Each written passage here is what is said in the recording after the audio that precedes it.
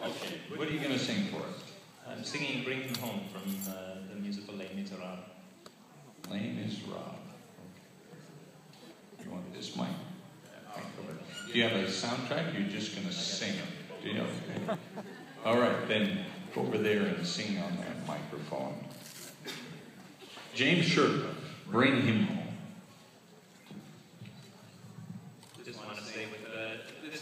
this song is, uh, of course, like I said, Valjean. And it's, uh, it's a song that